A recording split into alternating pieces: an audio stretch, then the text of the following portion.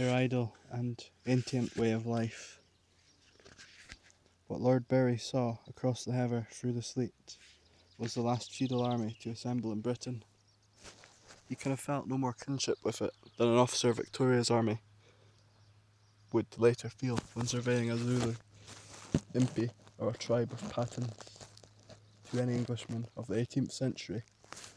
And to most lowland Scots, the Highlands of Scotland were a remote and unpleasant region peopled by barbarians who spoke an obscure tongue, who, dressed in skins or bolts of party coloured cloth, and who equated honour with cattle stealing and murder. The savagery with which the lowland Scots and the English were to suppress the rebellion is partly explained by this belief.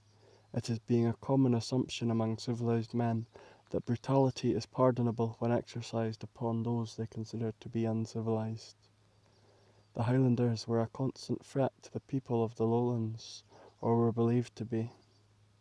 In England, very little was known of them. Their mountains were a week or two weeks from London by fast horse.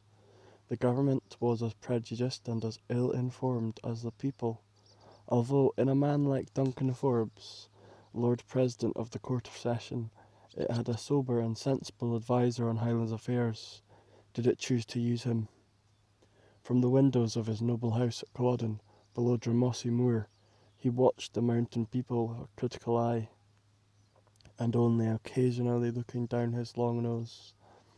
He was sincerely concerned with the need to bring to them the soft and civilizing influence of the South, and when he was severe in his judgments, it was with parental disapproval. One day in the summer of 1746, when the rebellion was over and the government was taking steps to see what there should see that there should not be another, Duncan Forbes sat down and penned a thoughtful essay on what was and what might be now that the blood had been let. It contained a sharp picture of his wild neighbours. What is properly called the Highlands of Scotland is that large tract of mountainous ground to the north west of the Tay, where the natives speak the Irish language. The inhabitants stick close to their ancient and idle way of life, retain their barbarous customs and maxims, depend generally on their chiefs as their sovereign lords and masters, and being accustomed to the use of arms, and inured to hard living, are dangerous to the public peace and must continue to be so until being deprived of arms for some years, they forget the use of them. The feudal framework which the power of the chiefs gave to the Highland way of life enclosed a tribal system much older in time. The ties of blood and name were strong among the people, and pride of race meant as much to a humbly in his sod and round stone house, as it did to a chieftain in his island keep.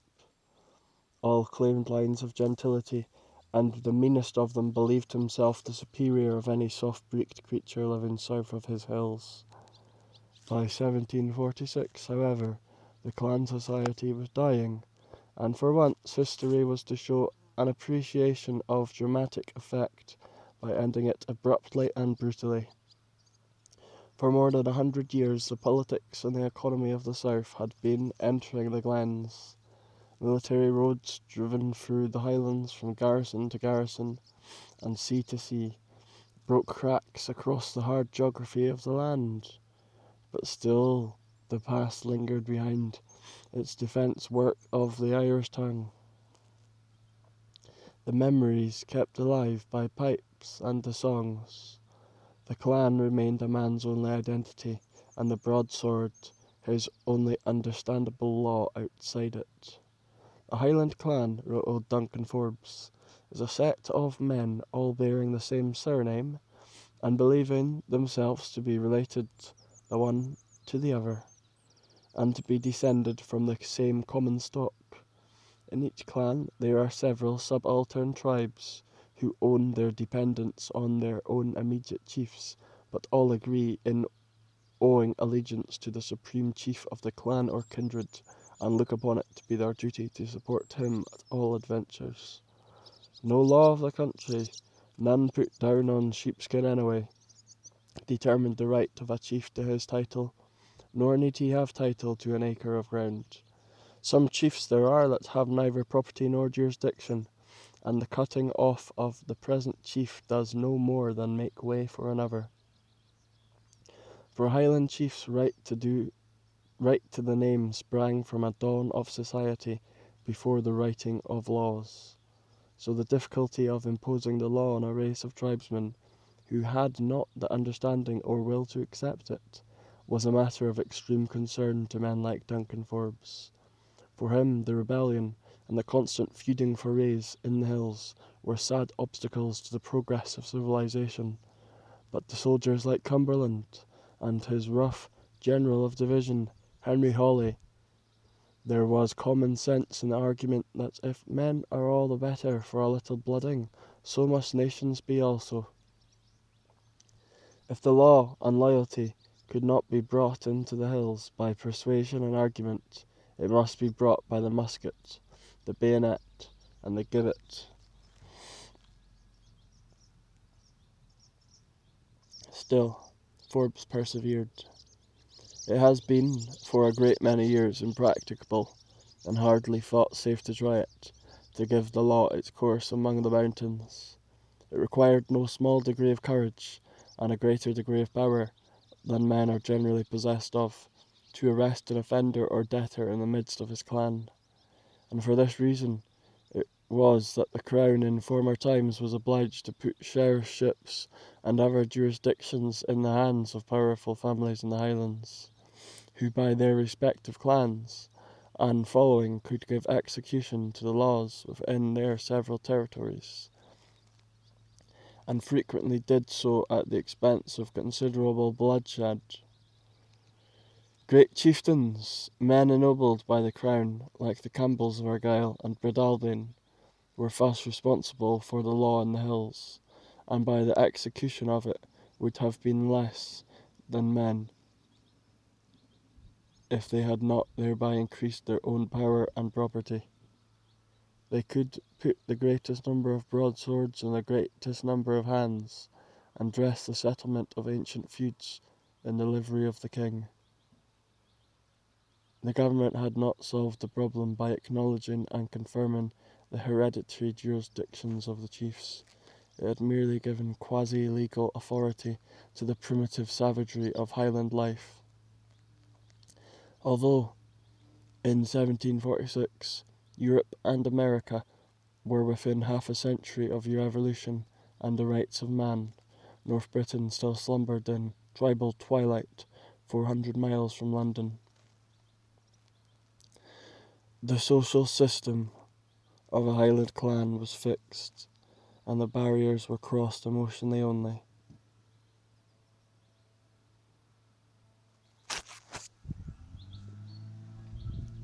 A chief's son, wet nursed by the wife of a humbly, would never call his foster brother his equal, but the milk shared by them imposed a lifelong obligation that could and often did compel the one to give his life for the other.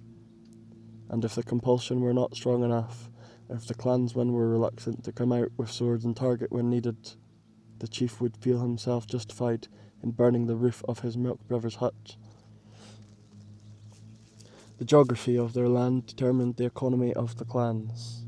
It was and is a hard land.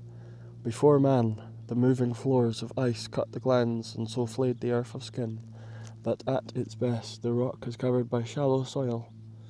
In such harsh and unrewarding surroundings, men could be herdsmen only, raising black and shaggy cattle, hardy sheep and goats, and being tribal herdsmen they became warriors to protect their flocks, until in the end history stood on its head, and they were men of war rather than minders of cattle. Forays against the herds of their neighbours became affairs of honour, and only the people south of the mountains saw it as robbery. A quarrel between men of different tribes might be settled by a dirk thrust at night, by single combat, or by whole clans pulled out on to the heather by the fiery cross. One cattle raid would be answered by another, year after year, and the bards of the clans composed heroic poems about each bloody incident. The pipes played rants in honour of men dead for centuries. The land, once held by the tribe in common, had by the 18th century become the chief's, his title to it sometimes no more tangible than the approval of his tribe, a situation that proved most awkward for some of them when the great chiefs of Argyll or Seaforth or Lovat discovered that a sheet of sheepskin could be more effective weapon than a broadsword or a Lochaber axe. Yet, though the land was the chief's, the clan's interest in the soil was deep and strong. Part of it was mensal land, used by and for the chief himself. Parts too might be given in perpetuity to families of officials of the clan, men like the bard, the harper, and the piper. The rest was held by tenants under tacks or leases granted by the chief. Thus the tacksman, though not of the chief's family, was a man of importance in the tribal society, and whose rank entitled him to be a junior officer or senior non commissioned officer when the clan formed itself into a regiment for war. In their turn, the tacksmen subleased part of their land, and so each social stratum was formed, each man owing economic allegiance to those above him, and all bound in fealty to the chieftain, whose direct and known progenitor had been the strong loined hero who had started the whole tribe.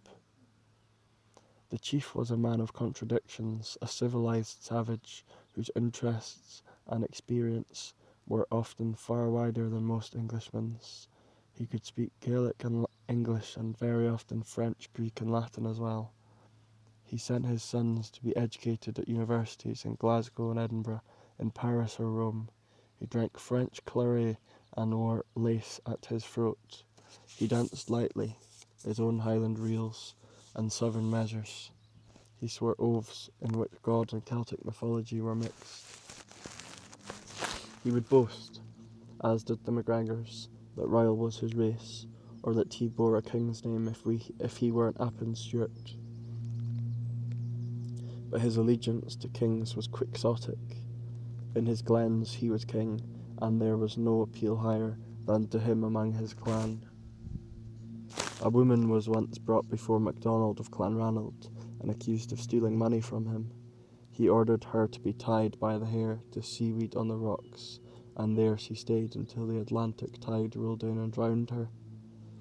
Although Clanranald's people may have trembled at the violent justice of their chief, none could have questioned the punishment, for who stole from the chief stole from the clan. The chief protected the clan, and the chief punished the clan.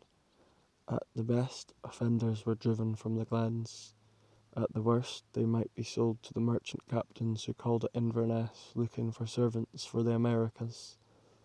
Seven years before Culloden, Sir Alexander MacDonald of Sleat and his brother-in-law MacLeod of Dunvegan, chiefs of the Isles, drove one hundred of their people aboard ships for deportation to Pennsylvania and swaggered their way out of the uproar this caused in the lowlands when the ship was discovered and the deportees released at an Irish port. No protest was heard or recorded from a, from a MacDonald or a MacLeod clansman. Although now and then a chief might whet his talents on the politics or society of the lowlands or England, most of them, once their youth was past, stayed in their hills where they were not known by their surnames, but by their land, by the glen or loch or the strath or clachan that was their home. And the wife of a chief, whether or not her husband would have been plain Mister in Glasgow or London, was always lady. A chief's amusement came from the land and the culture of his people, from bardic poems and wild pipe music. More actively, when he was not away on a cattle raid, he hunted. The high mountains at one time were running with the stag, the wolf, and the cat. And the hunting of them was a fine and barbaric spectacle, even after the firearm came to the Highlands. Sir Ewan Cameron of Lochiel, chief of a clan that was all gentlemen by its own estimate, once organised a splendid deer hunt for the pleasure of his guests. He called out hundreds of his men and stretched them over the hills at the head of Loch Arkaig. They moved forward, shouting and crying, sounding the pipes and beating sword on shield, so that the deer bounded from cover and ran towards the mouth of a narrow glen. There stood Lochiel and his guests with broadswords in their hands, by the swinging and the cutting of the long blades, they slew many animals, and the Cameron bard and the Cameron harper made an epic of it. Tacksmen and Humblies, because they were blood of blood with Lochiel, felt that some of his valour and some of his pride was theirs too. So where he went, they would go, and if he passed by their door, they would have a plaid for his head and brown for his dogs. Duncan Forbes, in his painstaking efforts to enlighten a usually obtuse government in London, once numbered the fighting men of the Highlands, naming them clan by clan, from MacDonald of Glencoe's 130 broadswords to the 4,000 well armed kerns whom Campbells of Argyll and Campbell of Breadalbane could put into battle if they wished. Altogether, Forbes estimated that the warrior strength of the mountains was 31,930, and he regarded this as a conservative figure. Had all these found common cause, they could have tumbled the House of Hanover from the throne merely by assembling and marching down to Lowlands. Less than 6,000, advancing south to Derby under Prince Charles, four months before Culloden, had forced George II to think seriously of immediate retirement to Hanover but, in fact, there had never been unity in the Highlands, nor could ever be. Religion, feuds, and political ambitions of chiefs, the natural jealousies of men who live remote and primitive lives, made common cause impossible. Each clan was enough to itself, and the world ended beyond the glen or with the sea that locked in the islands the patriarchal system of clanship, the fact that there was never at one time more than half the people of the Highlands profitably employed, the ancient stories of valour and combat, all fostered the warlike spirit of the clans. Thus a chief was judged by his attitude towards military matters, by his courage, and by his sensitivity in affairs of honour. As soon as a chief's son came to manhood, he was watched carefully by his father's people. If he were quick to revenge an insult by tugging out his dirk, if he were always ready to lead high spirited young men on a cattle foray, then he was greatly esteemed and accepted as worthy to succeed his father. If, however, his brief encounter with softer living in the lowlands or on the continent had turned his mind to more sedentary interests, he would be despised, and the allegiance of the clan might turn to a younger brother. The milksop might remain the chief in name, none could take that from him, but hard sinews and a fine cunning in war were expected of the man who led the clan in battle. Every man and boy old enough or fit enough to carry arms was automatically a soldier in the regiment of the clan, his rank fixed by his social position. The chief, or that man of the chief's family named by him, was the colonel. The chief's brothers, or sons, commanded the flanks and the rear. The head of each family was an officer or sergeant, bringing in his brothers, sons, and tenants to form companies or platoons. Each family, too, stood in line of battle according to its importance in the clan, so that the common humbly, the raw-eyed, half-naked subtenant of a subtenant would find himself in the rear rank of all, and think it no more than his right. Brother fought beside brother, father by son, so that each might witness the other's courage and valour and find example in them. The clan gathered when the fiery cross was sent across its country. Two burnt or burning sticks, to which was tied a strip of linen stained with blood. The cross was passed from hand to hand by runners in relay.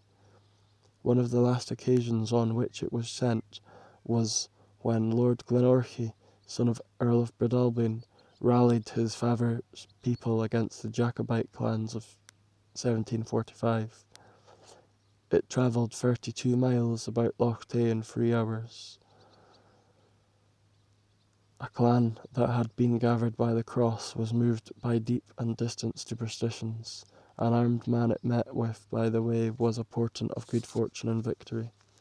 A stag, fox, hare, or any beast of game that was seen and not killed promised evil.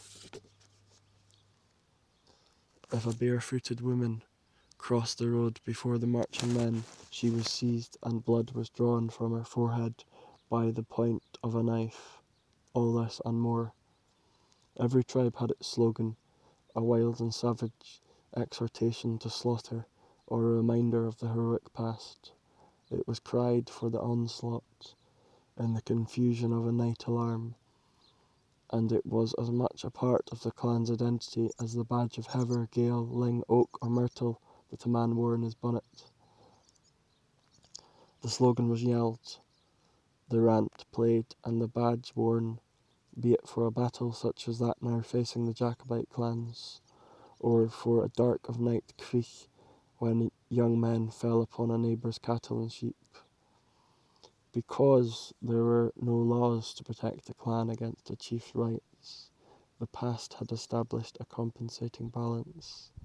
If he had the right of life and death over his people, he was equally responsible for their welfare, and most chiefs honoured this obligation. As landlord, father figure, judge, and general at arms, his power was great, but it was not always absolute, and on occasions he would debate major issues with the leading members of his family and clan. The settlement of serious disputes between one man and another, the support of children orphaned, the declaration of war, and the acceptance of terms for peace. This was something from the tribe's past, when men held things in common, and there were chiefs who felt themselves strong enough in their feudal power to disregard it. They would not ask their council's advice, or would ignore it if they did, and if they felt their fellow following among the clan to be weak, they would burn a few cottages to encourage the laggards. From boyhood, from the moment his foster mother weaned him, a Highland chief began to understand, or at least to enjoy, his peculiar position in life. He was of the same blood and name and descent as his people, but he stood halfway between them and God. His prosperity or poverty depended upon the industry of his clan and it would have been unnatural if all chiefs recognized this in terms of their responsibility towards their people. A chief's tenants, tacksmen, and humblies followed his standard, avenged his wrongs, supplied his table with the produce of their crofts, reaped his corn, cut his fuel. They paid their rents to him loyally, even when he was an outlaw or an exile.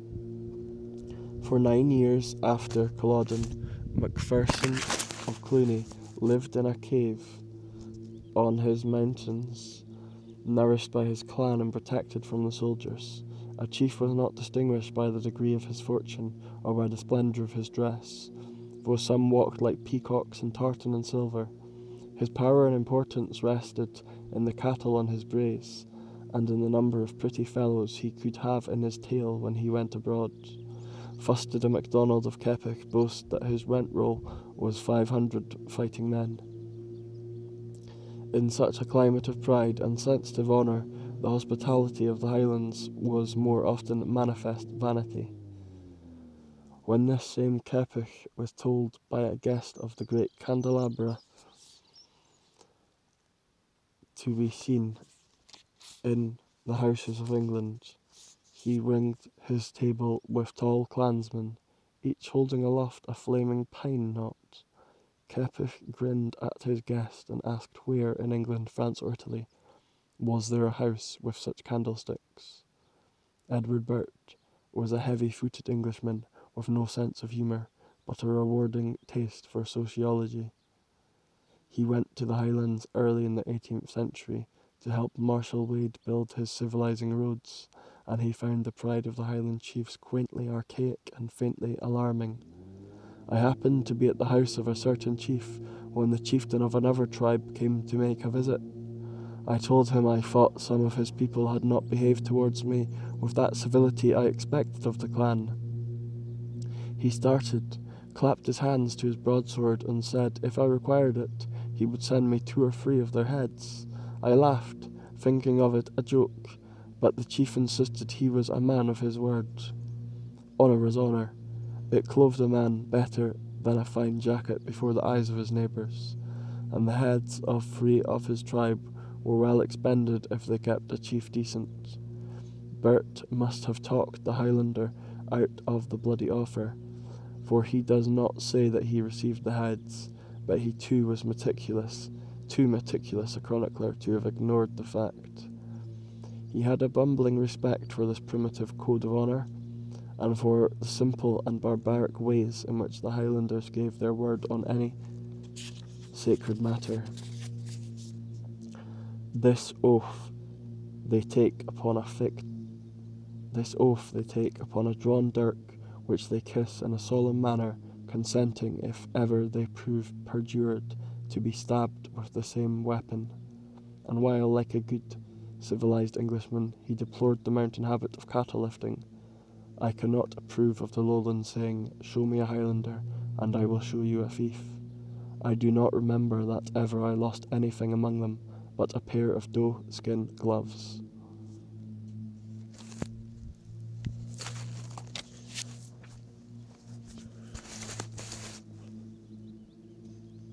Another Englishman who was inclined to accept the Highlanders' claims to gentility was Daniel Defoe.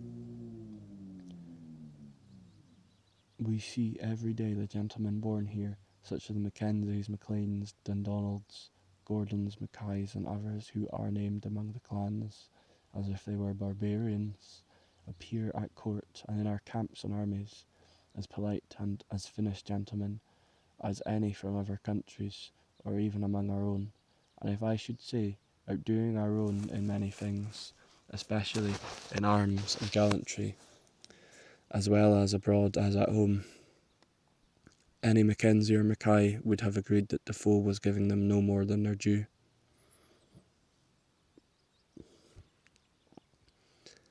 Edward Burt studied the clans more closely than Defoe, and saw more of the common people among them, and in all that he wrote of them there is curiosity and distaste.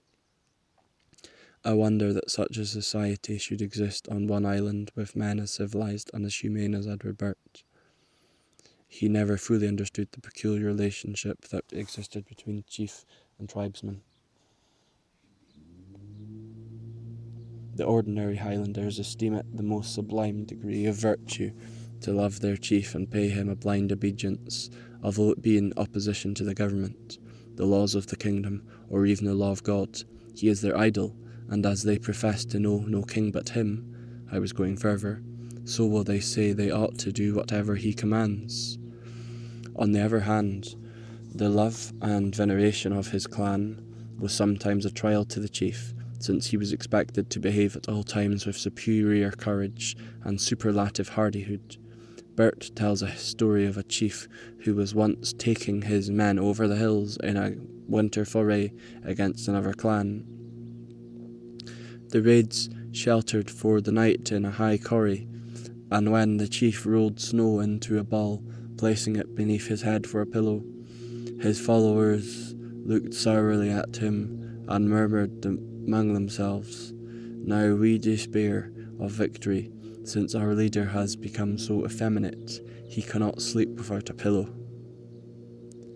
Burt also left on record the picture of a Highland chief making a peaceful voyage abroad from his glens, a proud strutting fellow with his wealth and honour in his tail.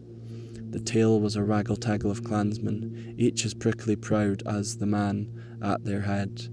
First the chief's henchman, his immediate bodyguard, and his foster brother, joined to him by the mystic union of one woman's breast milk.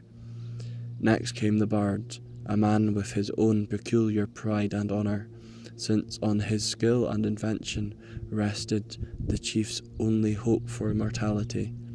Bardship was hereditary and carried with it a grant of land. The Highlands had no written history, and a man's reputation and memory might mount or fall on the tongue of the bard. The songster of the clan was rarely a warrior. The fellow could not have time for the broadsword. And the epic poem, at one moment, he sat on a hillock when the clan went into its charge, noting individual valour and keeping a particular and critical eye on the chief and his family. He was also the clan's principal genealogist, and if set to it, could outmatch the book of Genesis. All clansmen had the hit this taste for naming the begotten of those who were begat. They have a pride in their family, said Burt with wonder. Almost everyone is a genealogist. Behind the bard came the piper, ready to fill his bag and finger his chanter at a nod from the chief. He too was a gentleman among gentlemen, who held his post from his father and who came from a long line of pipers. His name could sometimes live longer than the chief he served. The greatest of all pipers in all the Highlands were the MacCrimmons, who could make men weep or fight like the gods, just like an inflated bag and a flute of bone. The piper sat on no hill when the clan was for the onslaught, that marched behind the chief with the drones spread, and his wild music calling up the rant and the red reminders of past valour. Fourth in the tail was the Bladier, the chief spokesman, a silver voiced man of debate and argument who knew each precedent in every quarrel and every promise in each dispute, and who took from the chief's shoulders the arduous responsibility of compliment and inquiry before the claret was poured and the board cleared, and behind these four was a gillie to carry the chief's broadsword and buckler, and ever to carry him over fords if his brogues were new, and his hose of silk, a third to take his bridle on the rough hill paths, and yet another to carry his baggage. To some chiefs, even this wild tail would not be enough to impress his neighbours with his importance. Behind might come a dozen swordsmen, axemen, bowmen, or musketmen, with pelted, belted plaid and naked thighs, and whomsoever the chief visited would house, bed, and feed this wild and touchy tail without protest, knowing that next time it would be his turn. To Englishmen, unfortunate enough to find themselves abroad in the Highlands, or to Lowlanders confronted on the Glasgow cobbles by Highlandmen, the most savage and outlandish thing about the Highlandmen was their dress. Burt attempted a description of it, stepping, none too certainly, across the stones of objective reporting and disgust. The common habit of the Highlander is far from being acceptable to the eye. With them a small part of the plaid, which is not so large as the former, is set in folds and girt round the waist, to make of it a shawl petticoat, short petticoat that reaches halfway down the thigh. The rest is brought over the shoulders and fastened before, below the neck, often with a fork, and sometimes with a bodkin or sharpened piece of stick, so that they make pretty nearly the appearance of the poor women in London when they bring their gowns over their heads to shelter themselves from the rain. This dress is called the quilt, and for the most part, they wear the petticoat so very short that in a windy day, going up a hill or stooping, the indecency of it is plainly discovered. He illustrated what he meant with a story of a lowland lady of his acquaintance who had followed a Highland gillie up a hill in a strong wind. The strong, the long plaid, which could be belted into a kilt and draped over the shoulders in a shawl, was the poor Highlandman's only dress. Elaborations were for his betters, and when gentlemen of a high degree dressed themselves in splendours, it was with a savage and vivid magnificence. A chief, since he preferred to ride a sheltie rather than walk, wore trews of skin tight tartan and not the kilts. His hair was tied back with a ribbon and powdered if he had acquired the fashion abroad. His bonnet was trimmed with the eagle feather that marked his rank, and he wore a tartan jacket and a tartan waistcoat, a tartan plaid that fell from the silver and cairngorm brooch on his left shoulder. If he chose to wear the kilt and not the trews, a silver and leather sporran hung from his waist, and his calves were covered to the knee with hose of tartan fret, tartan from shoulder to brogues, plaid, kilt, and stockings often of a different set, so that his clothes burned and glowed with green and yellow, blue and scarlet. He armed himself with a claw-handled steel pistol. He armed himself with claw-handled steel pistols, known as Highland dags, two of them dangling from his belt. His round bull-hide target was studded with silver bosses, and was frequently mounted with a steel spike twelve inches long. On one hip he carried a basket-hilted broadsword double-edged, a yard long and two inches wide.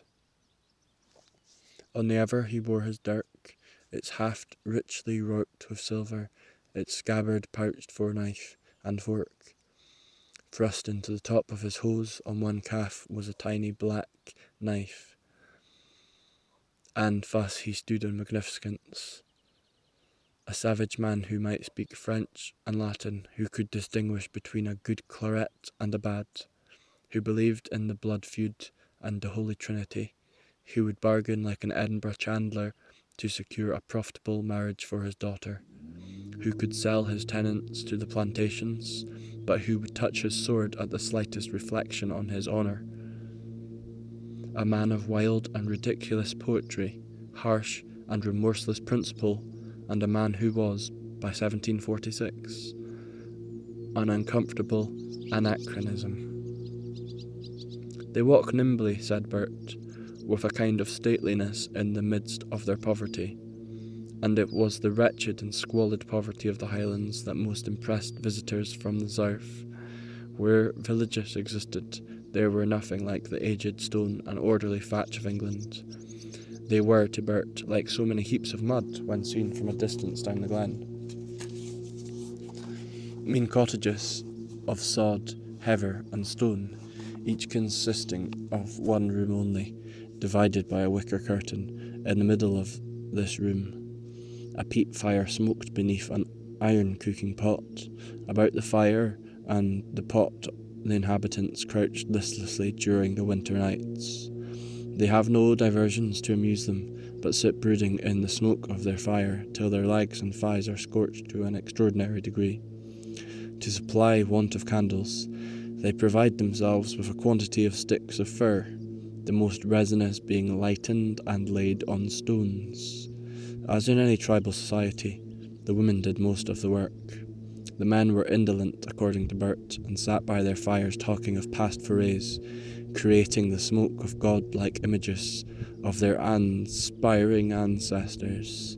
The offer of an inquiry into the causes that facilitate the use and progress of rebellions in Scotland thought that he had found one cause in the fact that half of the Highlandmen were without work of any kind. That is what an Englishman would regard as work. Many, he said, are supported by the bounty of their acquaintances or friends and relations. Others get their living by levying blackmail, and the rest by stealing. The blackmail was the old Scots tradition of demanding mail, or tribute, at the point of a sword. Lowland farmers living on the edge of the highland paid it hopefully, if not graciously, in return for the safety of their cattle. A community that scraped the barest living from the hard hills lived a pendulum existence between semi starvation and glutinous feasts. On the braes about and above a highland village grazed great herds of black cattle, tiny, shaggy ponies belonging to the tacksman. Wooden ploughs broke bitter furrows across the stony earth in which the people grew their corn. When times were bad, when food was scarce, they bled their cattle at the throat and mixed the blood with oatmeal into little cakes that could be fried. But for for all but the sons of chiefs and prosperous tacksmen, there was no schooling, nor did the people need any. In their pipes, their songs, and bardic legends, they had a hard and relevant culture that matched and explained their life to them. Their Irish tongue sang sweetly on their lips and spoke their emotions through its lilting cadences. God had found a way into the mountains long before Christianity came to the south and had declared an amicable armistice with the Celtic mythology of giants, witches, precognition, and stones that spoke with the voices of men. As with all barbaric peoples, there was something in their savagery that stirred the imagination of more civilized man, and would leave him restless until he could take it and turn it into sentimental romance. This is what he did with the party coloured cloth which the Highlanders wore, and which they called the breacan. Before the 19th century, it is doubtful whether any one particular set, one pattern, had a more causal connection with one clan or family. This was the romantic nonsense to be invented later. A Highlander's name, his clan, his tribal allegiance were declared by the slogan he shouted in battle, by the sprig of plant he wore in his bonnet or tied to the staff of his standard. Each plant had its mystic meaning, was a charm against witchcraft and disaster, or had its origin in the sober utilities of life, like the badge of the MacNeills. This was the seaweed, and it was with seaweed that the MacNeills manured the barren fields of their western islands. Such a society, feudal and tribal, accepting the dynastic rule of absolute chieftainship, believing in the redressal of family wrongs, but above all, such a military society was inevitably the one to which the exiled House of Stuart would appeal for support. The Stuarts had been Scottish kings before the union of the kingdoms. And although to most clansmen kings meant less than their chiefs, a Scottish king made more sense than a German. The Stuart concept of the rights and privileges of kingship dif- differed in degree only from the Highland principle of clan leadership. So a clansman could, with less difficulty than a Suffolk farmer, sympathise with a young man who landed on the Inverness coast, asking for the restoration of his rights. There were other contributory factors. There was, of course, politics, and to many chiefs, the Act of Union, which had joined England and Scotland under one Parliament, was still a betrayal. For while the Parliament of Scotland sat in session, they had shown little respect for it. And there was religion, camp follower in most wars. The Reformation and the joyless teaching of John Knox had touched the Highlands the kirk and the law walking hand in hand through some of the glens, in the Campbell country of Argyll, for example. But most of the clans were tolerant Protestants or defiant Catholics, and the latter were bound to have sympathy for a Catholic prince come back from exile. Non-jurancy was strong among the Protestant clans of the West, the Camerons and the Stuarts of Appin. They were a dissident sect, and their clergy had been ordained by the bishops who had refused to take the oath of allegiance to the new kings once the Stuarts were driven into exile, arguing that an oath to one was not transferable to another.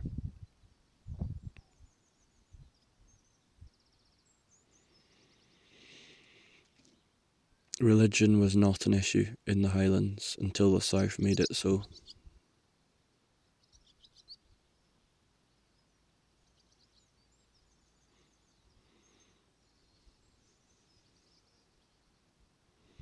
There were Catholic clans with Protestant chiefs, non-jurant meeting houses on the lands of the jurants, the Chisholms of Strathglass, the people of the Gordon country, the MacNeills of Barra, some MacDonald men of Glengarry and Glencoe were Catholics, with the significance of the Mass and Confession laced tightly into their own peculiar notions of man and his purpose.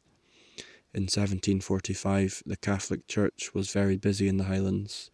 Fourteen years before, Hugh MacDonald of Morar, step brother to the chief, had come from Rome as vicar apostolic to the Highlands, dispatched thereto by the Pope and with His Holiness's particular blessing. He came with a little band of priests, all Highlandmen born of chief or tacksman. He came to open seminaries for the training of boys to the priesthood, to say mass in the ruined churches of Badenoch once more. And all this he organised from his island headquarters in Morar, now and then travelling about his scattered parish disguised in plaid and bonnet.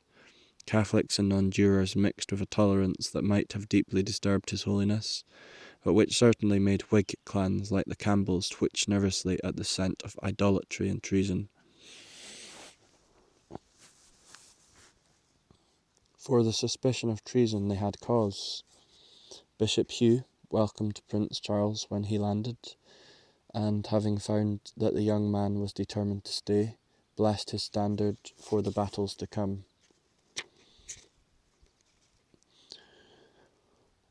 Where there were deep glens protected by the broadsword or the earth itself, Catholicism flourished. In Lochaber it was due to Father John MacDonald, known as Maester Ian Moore, a holy man whose ancestors had been warrior chiefs of Clanranald. He had been in Lochaber for a quarter of a century before the prince arrived. In Strathglass, the Chisholm country, Father John Farquharson dressed in kilt and played for, for the common days of the week, but on Sundays he put on sacerdotals to celebrate Mass in the old meeting house at Ballinhoon. The government knew he was there and made some attempt to root him out, dispatching soldiers one day and catching him at the altar. But his congregation took arms against them would have killed them and buried them beneath the floor of the church, had not Father John argued against it. The soldiers did not come again until after the forty five, and until then the father went on celebrating the Mass and baptizing the newborn of the Chisholms from a natural font in the rocks.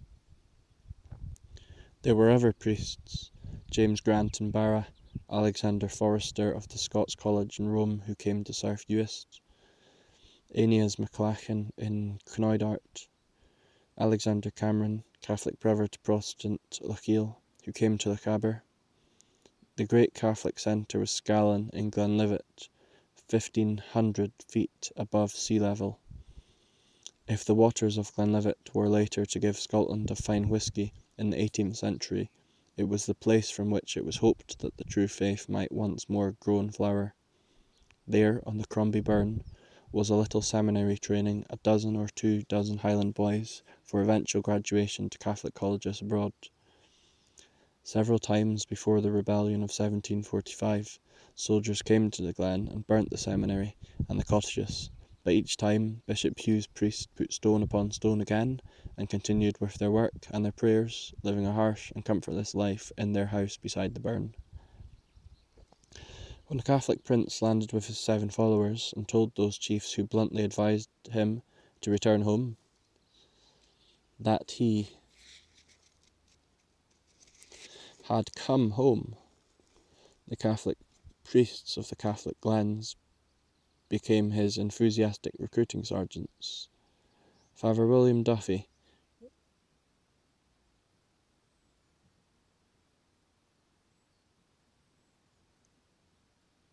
Father William Duthie, a one time Episcopalian minister, but now superior at Scalan Seminary, sent a message of joyous exhortation to all Catholics in the Highlands, urging them to join the Prince.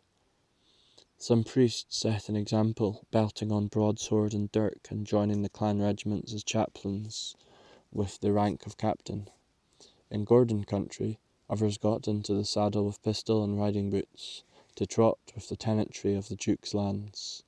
In Strathavon, Father Grant and Father Tyrie cast lots between them to see which might have the honour of going to war with their communicants, and which the disappointment of staying at home Tyrie won, and went off to march to Derby and to stand in line with sword and target when it all ended at Culloden. The whole melancholy affair was a confusion of politics and religion, tribal loyalties and clan jealousies. Brother fought brother because of disagreements over the Act of Union, and co religionists took arms in opposition because of their preference for this king or that. The English were involved as the principal military force and the Parliament of the kingdom because it represented the law and challenge, but the Scots engaged themselves in a bitter civil war over a young man whose grandfather had been king sixty years before. Honour, even Highland honour, was capable of cunning interpretation as father stayed at home and sent one son to fight for King George and the other for King James, thereby securing their estates whatever happened. Few were like Donald Cameron, younger of Lochiel, who committed everything he had clan, family, and property to the cause of the red haired young man whom he had earlier advised against coming. When that young man landed eight months before Culloden, the chiefs, for all their Jacobitism, nonjurancy, or Catholicism, were reluctant to come out. It was nearly thirty years since the clans had last taken to the heather. Old issues had become mildewed, old passions tired, and the hope for armed support in England was something a madman would dream. The boy's army, when he finally gathered one, was never more than a few thousand of those thirty thousand clansmen of the mountains. Drawn there by chiefs, charmed by his nature, or committed by rash promises, the other chiefs remained in their hills, fingers still smarting from the last burning they had received in the Stuart cause or else they allowed a few of their clan to go out as a gamble, while blandly disowning the rascals to the government. And the clansmen, they came out when told, most of them pulling broadswords from the sod where they had been hidden since the disarming acts that followed the last rebellion. They dug up Lochaber axes and steel dirks. They primed muskets and dags and told their wives to watch the winter fields.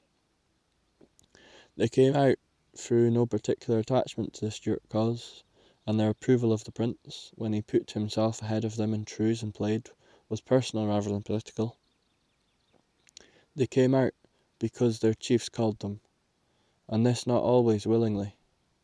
Romance, lusting after fact, conceived a picture of the Highlandmen springing to arms like a stag from the heather as soon as they heard what the bonny laddie had come to their hills.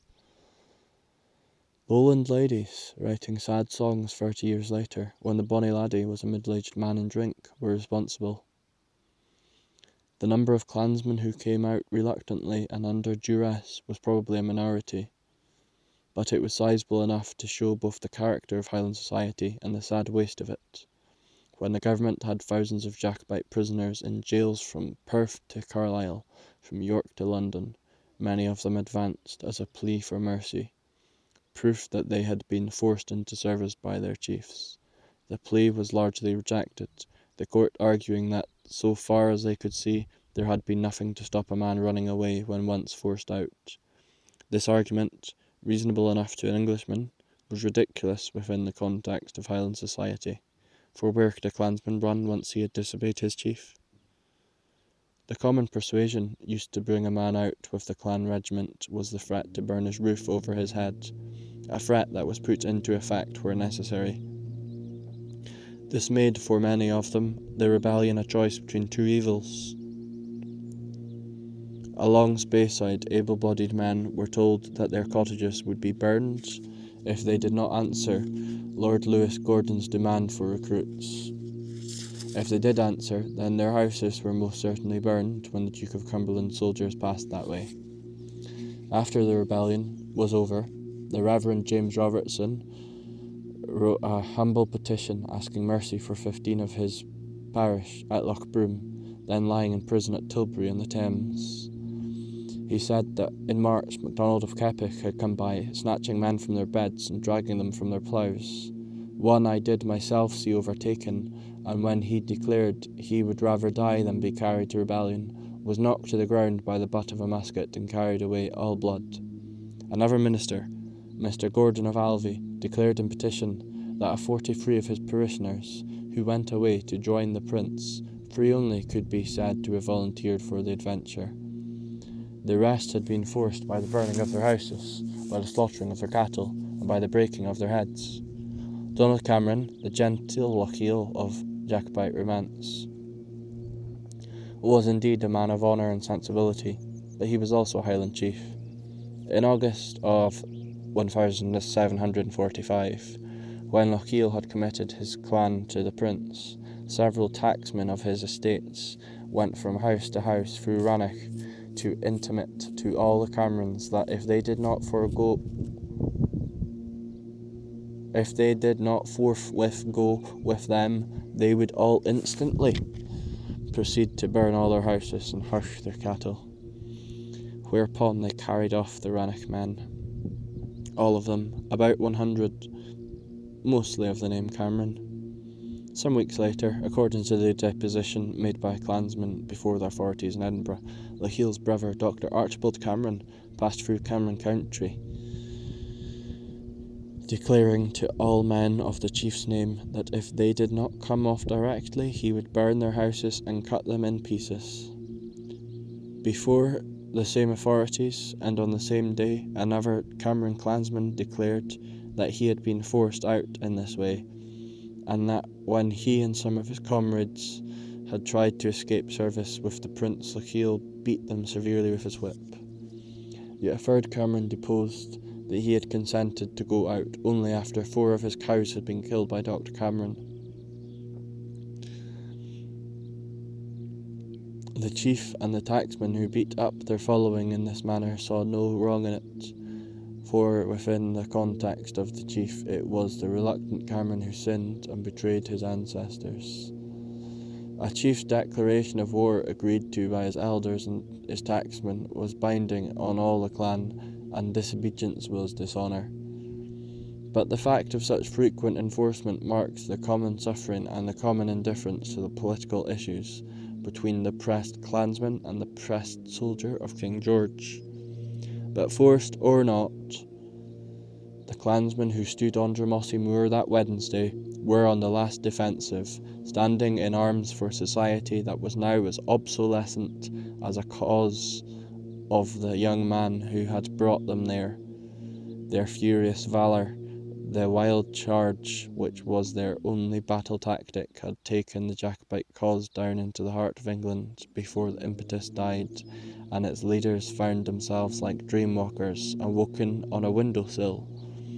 Through the winter, the retreat had continued back to the hills, a battle flung and won against Hawley's unsuspecting camp at Falkirk, and then the retreat northwards again, with the young Duke of Cumberland in pursuit, northwards and still northwards, the winter passing into spring, and then a final decision in a final battle